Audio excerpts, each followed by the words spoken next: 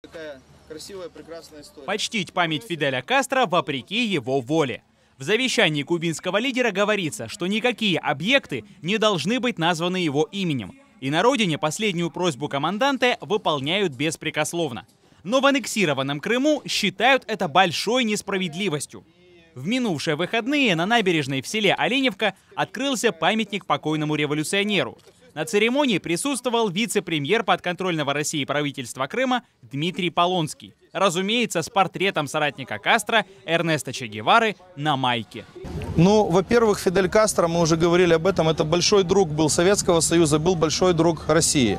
Во-вторых, вы знаете, что на Кубе действительно принят закон, который после смерти Фиделя запретил, это была такая воля Фиделя, называть какие-либо объекты его именем. Но нам кажется, что все-таки это несправедливо, когда великий, вот просто без привлечения политический деятель никаким образом не будет увековечен.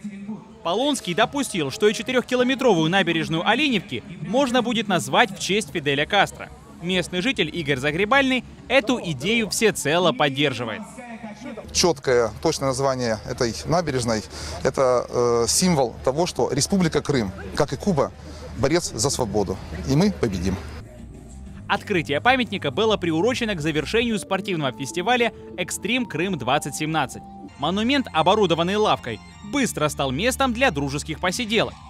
Одобрил бы такую инициативу сам кубинский революционер, остается только догадываться –